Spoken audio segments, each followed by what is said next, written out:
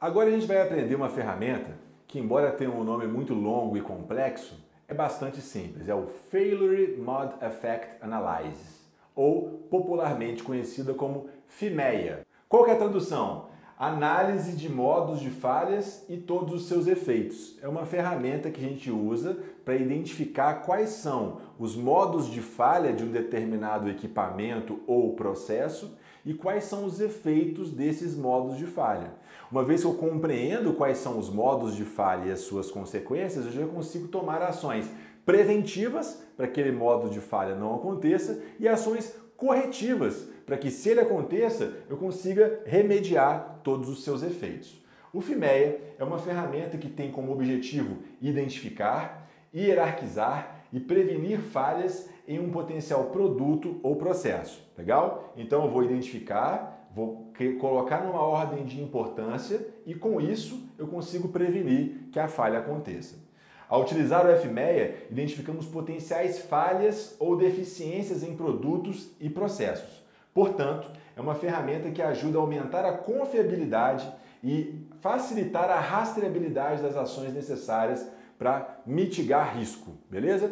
Então é uma análise de modo de falha que vai permitir que você se antecipe, que você pense nas possibilidades de falha que podem acontecer e nas suas consequências, os efeitos dessas falhas. Uma vez que você é forçado a isso, você começa a pensar de forma preventivamente.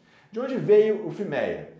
O desenvolvimento do FIMEA iniciou-se na década de 60, com o objetivo de reduzir custos com atrasos erros e retrabalhos nos desenvolvimentos de novos produtos e tecnologia, principalmente na indústria aeroespacial. O foco era identificar os riscos de maior criticidade e trabalhá-los de forma preventiva. Então começou na década de 60 no setor aeroespacial. Com o tempo, outras áreas industriais começaram a utilizar o FIMEA, principalmente na indústria automobilística.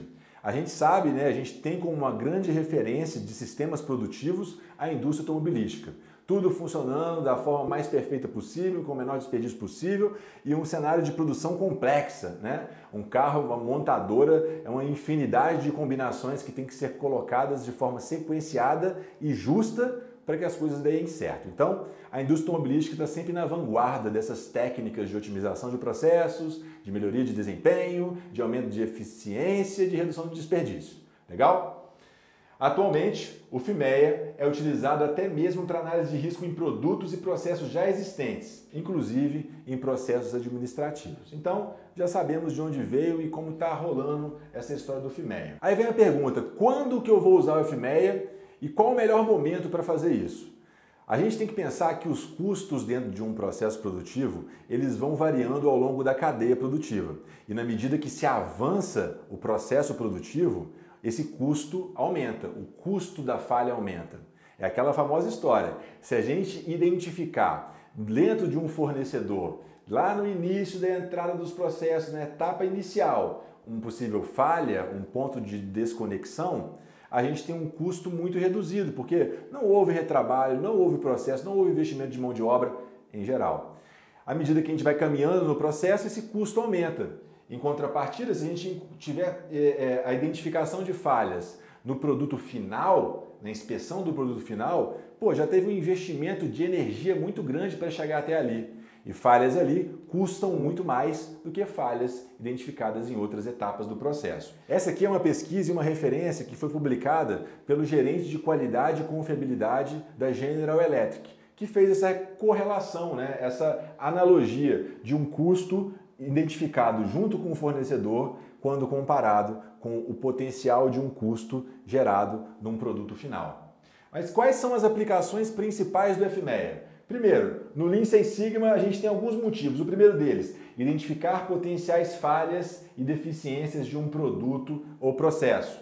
Segundo, ser capaz de quantificar a severidade do efeito das falhas. Então, a FMEA vai permitir que eu identifique as principais falhas e deficiências e depois quantificar o quão severo, o quão crítico aquilo é para o meu processo. Na sequência, eu vou identificar as causas das falhas e deficiências e quantificar a sua frequência. O próximo passo é trabalhar de forma preventiva e focar na eliminação dos problemas potenciais e, por fim, facilitar a documentação e rastreabilidade das ações. Resumindo isso tudo, o FMEA ele permite que a gente tenha uma postura preventiva ao, em detrimento de adotar uma postura reativa. Reativa é, deu merda, vou agir para verificar o que, que eu posso fazer para parar e para não acontecer de novo. Já a preventiva permite que a gente é, monitore os riscos de uma determinada situação acontecer, mitigue ou minimize o risco disso acontecer e uma vez que já está monitorado, a gente já sabe os efeitos que podem gerar e a gente já consegue bloquear imediatamente qualquer tipo de efeito insatisfatório dentro do processo.